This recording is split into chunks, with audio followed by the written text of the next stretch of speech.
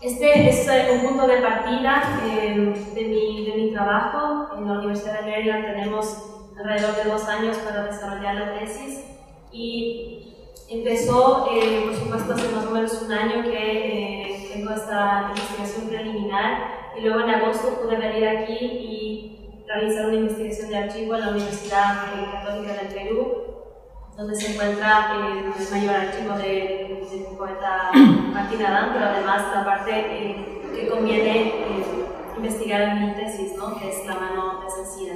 Entonces voy a leer algunas partes porque son eh, reflexiones que han ido surgiendo y que he ido desarrollando. Tengo algunas fotografías que mostrar sobre la poesía también. Sí, tengo este epígrafe con el que quisiera empezar mundo del coleccionista revela la existencia abrumadoramente amplia de otros mundos, energía, reinos, eras anteriores a aquella en la que él vive. La colección aniquila la pequeña porción de existencia histórica del coleccionista. La relación del amante con los objetos lo aniquila todo, excepto el mundo de los amantes. Esto es de Susan Sontag del Amante del Volcán. Dicen que la mano izquierda de la Venus de Milo sostenía la manzana que perdió a París y a toda Troya. Dicen también que está enterrada junto con los restos de ambos brazos, el territorio que un día fue parte del Imperio Otomano, y que solo tres familias turcas conocen su ubicación, dato que se transmite y preserva a través de generaciones hasta el día en que la estatua retome a donde pertenece. Solo entonces dicen que la luz de Milo tendrá sus brazos de vuelta. Si esto llegara un día a suceder, si un día los franceses renunciaran a la estatua de la diosa, tan francesa para ellos como una Madeleine, no podría sino tratarse entonces de otra escultura distinta, una que alguna vez fue la Venus de Nilo. Con ello no quiero decir que esta deba su fama únicamente a sus brazos, sin contar con todo el mito que se ha construido sobre cómo fue que los perdió, sino que además de su valía y su belleza, en ella se manifiesta el atributo esencial de la ruina, la presencia de una ausencia. Así entonces la Venus de Milo tiene dos brazos que le faltan. De aquí que lidiar con la ruina significa entrar en el discurso de la incompletud y sus secretos, una concordancia que rompe la linealidad y que insiste por no concluir solo para poder constantemente empezar de nuevo. Esto acaba orillando nuestra mirada hacia la comprensión de una dinámica que se sostienen en la interrupción y en el recorte, y allí no podemos ambicionar una totalidad única, sino más bien una múltiple. Y sobre todo, frente a las ruinas, comprendemos de inmediato que estamos delante de la materia volátil y casi inaprensible del fragmento, y a la vez ante la presencia vigorosa y áspera de las piedras, sobrevivientes siempre por encima de la destrucción y el tiempo. La mano que me ocupa en este estudio es ciertamente una ruina, pero no está enterrada ni rota, no deshecha, sino deshacida. Y la elección del adjetivo no es casual, ni siquiera estética, sino profundamente filológica. La distancia entre hacer, de latín hacer, de raíz indoeuropea de, significa poner o arreglar, y en cambio así, de latín ansa, significa empuñadura o asidero implica que la mano deshacida no proviene de una ruptura violenta de lo que se desprende, se corta o deshace, sino del acto sereno y casi solemne contrario al así, y de este, de la negación de la función primordial de la mano, que es precisamente la de tomar, la de agarrar. Una mano deshacida aparece entonces como una doble ruina, resto de un cuerpo al que no está más asida y a la vez despojada de su esencial capacidad de así. Es así que entiendo mi trabajo sobre el poema La mano desasida de Martín Adán, un ejercicio de la brocha sobre la arena, un develamiento paciente de las formas, todavía para mí son secretas, no busco, sin embargo, resarcir o rehacer, porque esto pienso que iría en contra de la voluntad poética de los versos, sino simplemente así, que es la tarea del crítico como coleccionista. Porque mientras los amantes, los restauradores o herederos siguen disputándose los brazos perdidos de la diosa del Nilo, por ejemplo, los coleccionistas más bien escribimos sobre ellos precisamente porque faltan, porque no están y porque su ausencia señala esa multiplicidad de mundos, energías o eras, y allí es posible la palabra. en el ejercicio de asir lo desasido, que apenas esto y nada más nos fue confiado hacer. Mm, sé que hay un público diverso que se conoce muy bien eh, los antecedentes de la poesía de Martín Adán y especialmente de la mano desasida, pero quería contar, para poner en contexto a todos, que el texto eh, aparece en fragmentos primero ¿no? en los años 60 y en 1980 una edición publicada por el Banco Continental de Lima recoge nuevas partes del poema que llega a formar un volumen de casi 200 páginas. Sin embargo, la investigación eh, que hice en, la biblioteca, como les comentaba en agosto, hizo evidente lo que varias fuentes bibliográficas ya sugerían, que aún quedan muchos textos inéditos que comprenden este poema y que hay todavía mucho que decir sobre su estructura. La obra de Adán es poco conocida y sin embargo tan importante como la de Vallejo o Neruda. mi trabajo de, disertación va a consistir precisamente en la recopilación de estos fragmentos y en el análisis de una estética de las ruinas de lo fragmentario. El archivo de Martín Adán de la Universidad Católica conserva al menos 38 libretas de 60 páginas cada una que contienen versos de la mano de Sacida. Estas se encuentran digitalizadas y además hay 60 documentos, entre notas periodísticas, cartas, borradores. Ahora les mostraré fotografías de, de, girones de papel escritos con versos también del poema. Esta eh, colección empezó a formarse en 1930 eh, con artículos y mecanografías de Ricardo Arturo, la colección de, de Martín Adán, quiero decir, que era amigo del poeta, y luego por pedido de, de Martín Adán pasó a manos de su amigo Juan Mejía Vaca en los 60, quien continuó con el acopio de eh, los documentos. Estos pasaron a la Universidad Católica en 1986.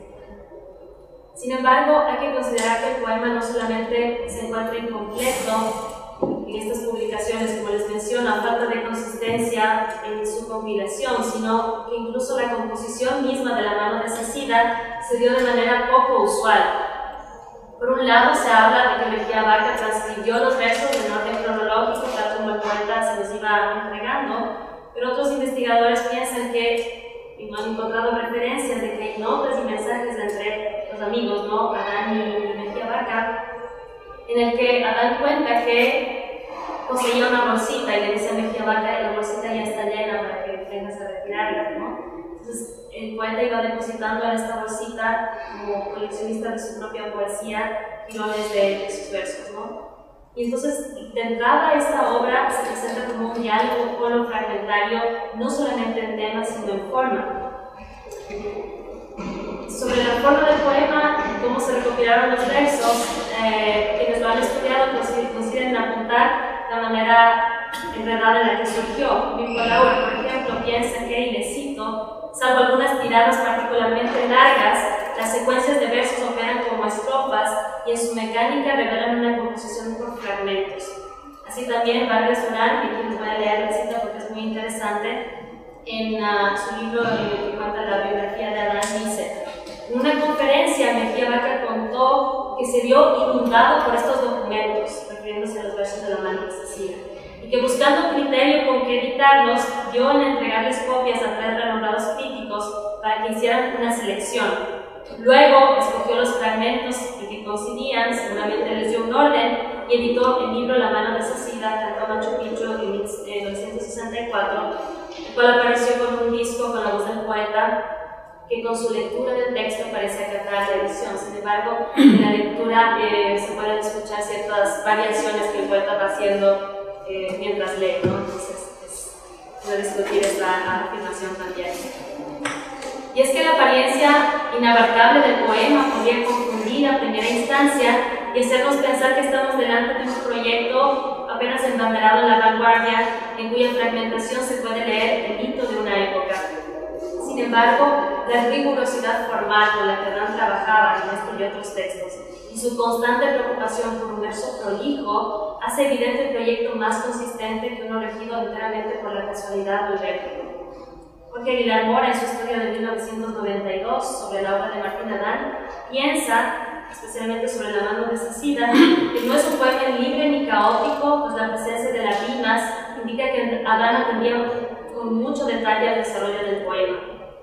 Y aunque esta, mi rima, eh, mi metro tiene regularidad perfecta, aunque se establecen ciertas partes de construcciones métricas del romance o de la silva que se interrumpen, claro, eh, prueba que para, para la mora ¿no? hay una premeditada, una forma premeditada del poema, ¿no? que está de alguna manera regido o sometido al azar de una forma semejante, de una forma no idéntica, sometido a la libertad de lo heterogéneo, dice Y aquí es donde encuentro sintonía con esta idea porque no se dialoga de otra manera con la ruina, sino a través de esa paradoja, en donde los restos señalan lo ausente y la, ausencia los restos. De igual manera que ese diálogo infinito, porque las piedras sí evocan siempre ese diálogo y no hay ser suficiente para tanto discurso, dice Aguilar Mora, ni tampoco tanto tiempo para tanto tiempo ¿no? en el diálogo. La libertad del heterogéneo viene a ser entonces el carácter de la ruina y la manera de romper a lo fragmentario. Pues quería mostrarles ahora algunos de los ejemplos. Esta es, por ejemplo, una, una libreta, el comienzo de una, de una libreta, eh, eh, libreta para hacer cuentas, ¿no? En formato eh, pequeñito de 12 centímetros y está abierta en este sentido horizontal y se registran aquí los versos. Luego hay retazos de papel no escritos de, toda clase de papel, papel de carta, papel muy delgado. Eh, ahora van a ver retrasos eh, increíbles, tarjetas de cartón divididas en esta forma, en cambio, entonces pueden, comprender también que los formatos y la dirección del texto, ¿sí? es un interés especial, ¿no? la exposición del texto para la poesía, también juega eh, un papel importante.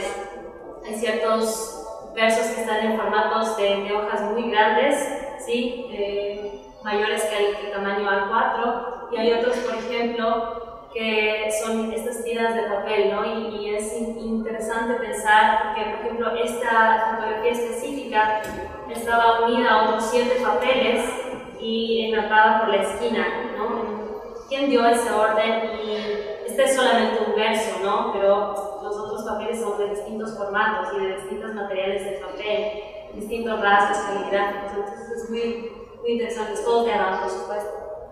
Eh, aquí también tenemos un, papel, este es el papel de servilleta.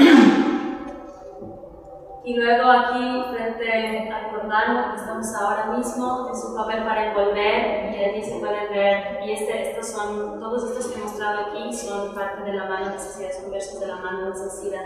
Luego variaciones de los versos, ahora al final eh, les preguntaré qué harían ustedes con esto, ¿no? Porque realmente es, es ah, trabajar sobre, sobre, un proyecto de, de, investigación así, es tan emocionante como eh, desconcertante a veces, ¿no? En los conciertos de, la experiencia sobre eh, el fracaso, ¿no? Sobre producir y reproducir y luego volver a cuestionar lo que uno mismo está pensando. Ahora voy a mostrar otros ejemplos de los versos de Adán escritos en otros soportes que son muy interesantes y que hablan ya sobre lo fragmentario también. Están, por ejemplo, las platinas uh, de papel de estaño, ¿sí? las platinas de cigarrillo.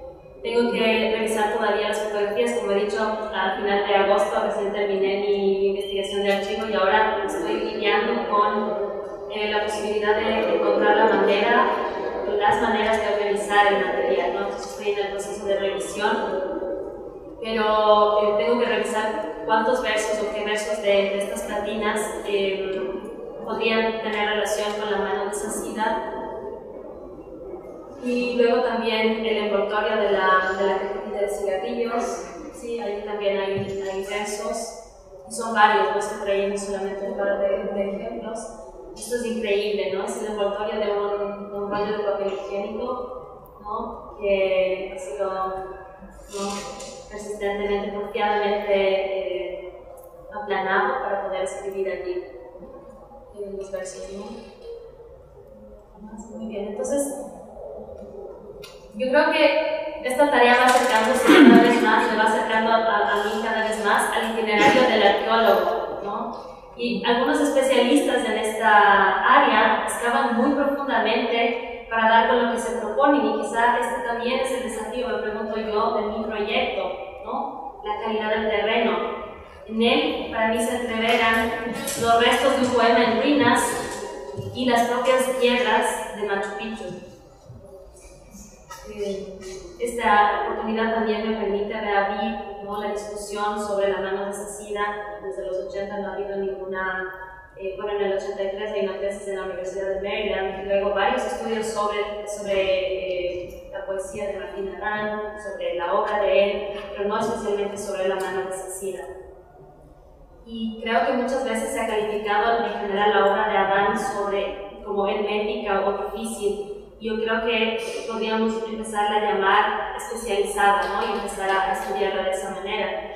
Y creo que en, en eso tiene mucho que ver la envidiable eh, formación académica del propio Martín Adán, ¿no? su rigurosidad métrica, su, su con el lenguaje, el mismo, gracias a las entrevistas podemos saber que el mismo se, se denominaba poeta sino gramático.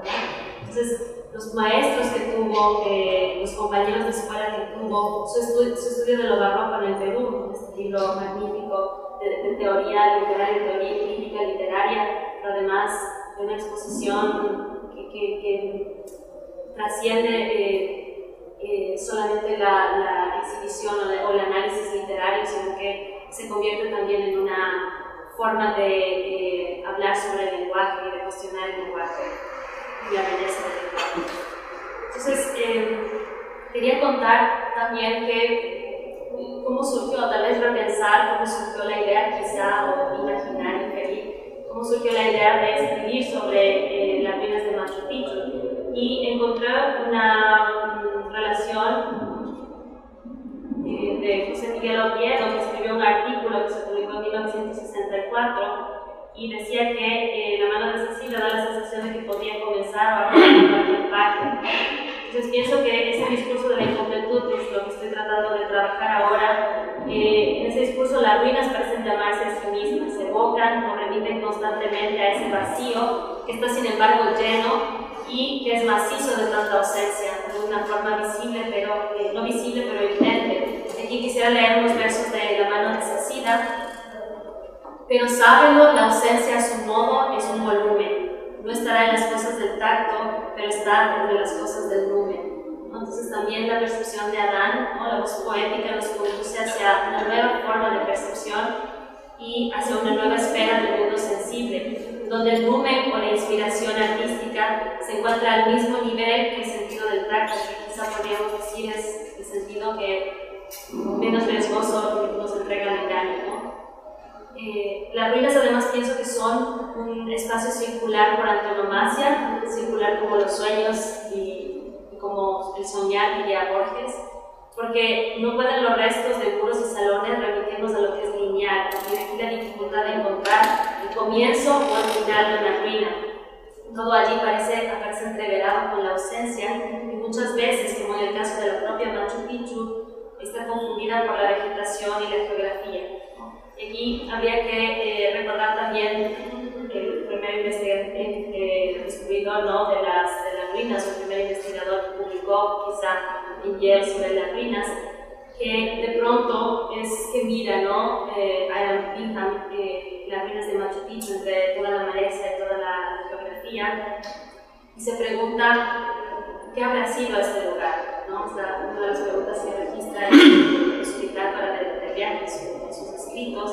y los versos con los que aparecen ambas um, indicaciones de la mano asesina también son una pregunta, pero la pregunta que Adán hace es, ¿qué palabra simple y precisa inventaré para hablarte en invierno?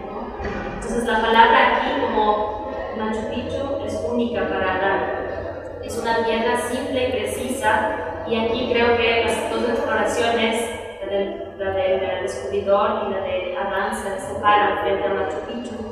Eh, va detrás de la recuperación nostálgica de la ruina, ¿no? ¿Qué habrá sido en el pasado? Eh, en cambio, el poema persigue el diálogo futuro, ¿no? Porque dice, ¿qué palabras inventaré en el futuro? Eh, ahí habita para Adán lo irrecuperable y es preciso reinventar incluso el, el lenguaje, aunque ello involucre el dilema profundo de la producción artística.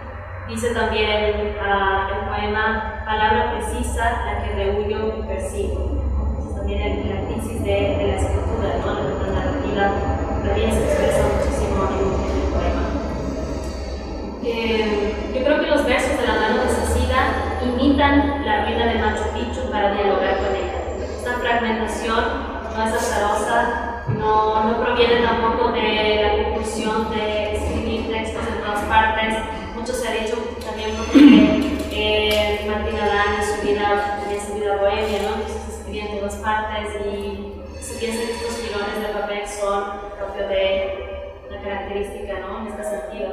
Pero yo, yo pienso que hay un proyecto detrás consistente y sí, me gustaría pensar además en las lecturas de Adán, ¿no? que leía en alemán y leía los alemanes, y mi teoría va un poco hacia, hacia ese lado, ¿no? hacia eh, la posibilidad de repensar otros, otros estudios sobre lo fragmentario, está Nietzsche, está Schlegel, ¿no? en los uh, fragmentos del, Ateneum, eh, y bueno, toda la producción de los, de los filósofos alemanes, también Lichtenberg en el siglo XVIII, antes que, Schlegel, hablando sobre esto, Novalis, eh, en fin, ¿no? que pueden ayudarnos a levantar toda una teoría sobre eh, lo fragmentario.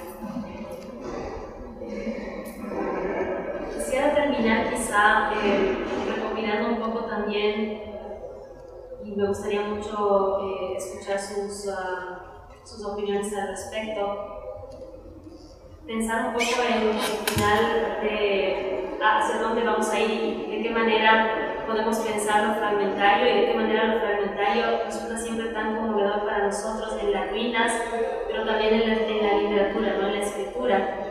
Y ahí en el prefacio al Cromwell, por ejemplo, Víctor Hugo, ¿no? una, una referencia que me, llamó mucho la atención cuando la encontré, eh, se están preguntando sobre la, sobre la distinción entre lo bello y lo feo, lo deforme y lo gracioso. Nuevamente, por eso me parecía que pensar sobre la Venus de Milo era un que tener algún ilustrador al respecto.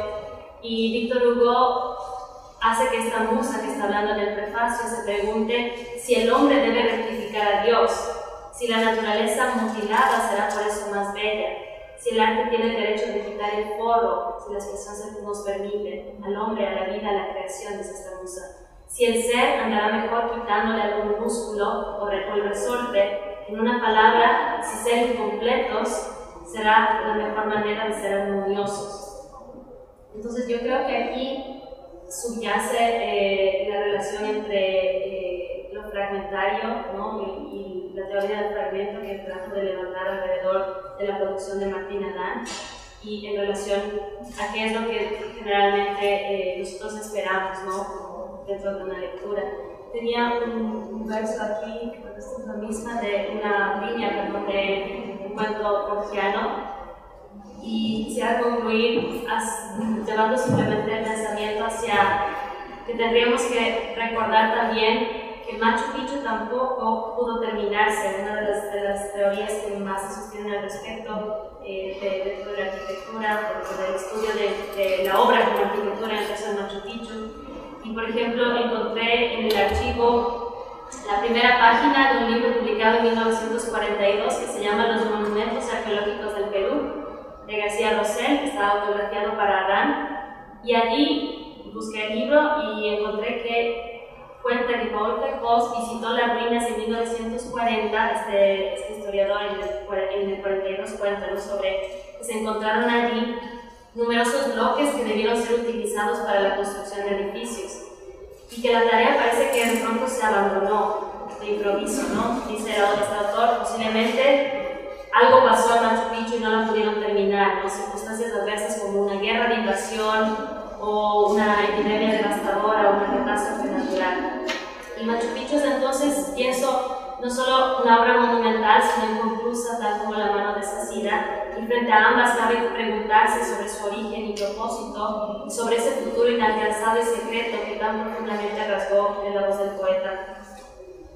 Eh, además, el propio descubridor de las ruinas de 1911 comprendió que Machu Picchu no fue la obra de una generación, sino de muchas generaciones de que completó, que piedras a piedras y fueron construyendo una estructura que jamás se usó. Machu Picchu se torna entonces todavía más compleja porque sus pasados y sus orígenes se multiplican. Adán nos dejó en los versos de la mano de Sacira un poema en piedras para armar y desarmar, para que propongan un diálogo infinito. Y a veces pienso, quizá con desmesurada emoción, que los lectores, nosotros, de la mano de Sacida, somos esas otras generaciones que reordenan piedras en una estructura que nos sobrecoge y nos maravilla, que posiblemente nunca usaremos, pero en una tarea infinita que de alguna manera nos rescata de esa finitud. El proyecto que me propongo es un libro inconcluso. ¿Y qué libro no lo es? Sugiere Borges aquí en el libro de Arena. Pero lo es sobre todo este, que cuenta con los recortes de las publicaciones de los 60 y 80, con la además celosa preservación de estos tirones de papel que nos quedan en los archivos, y con el mito de los secretos de algunos versos, y con las partes irremediables irremediablemente perdidas del poema. Aquí frente al Jordano, el señor Don Rafael me ha contado que está trabajando ahí con más de 60 años o casi 60 años. Me cuenta que donde se sentaba Adán, que Adán pedía ¿no? de esta manera en la mesa, vino, ¿no? y la expresión que ha usado Don Rafael, es que eh, se quedaba ahí toda la tarde escribir, besando, besando el vino, ¿no? viéndolo poco a poco, y lo otro que pedía las servilletas, ¿no? se pasaba dividiendo las servilletas, y Don Rafael ha dicho, y nosotros, ¿cuántas veces, cuántas veces yo barrí ¿no? las servilletas que hay, que escribía y él mismo acaba botando Entonces, esas partes perdidas también de este poema y de otros, otros escritos. ¿no?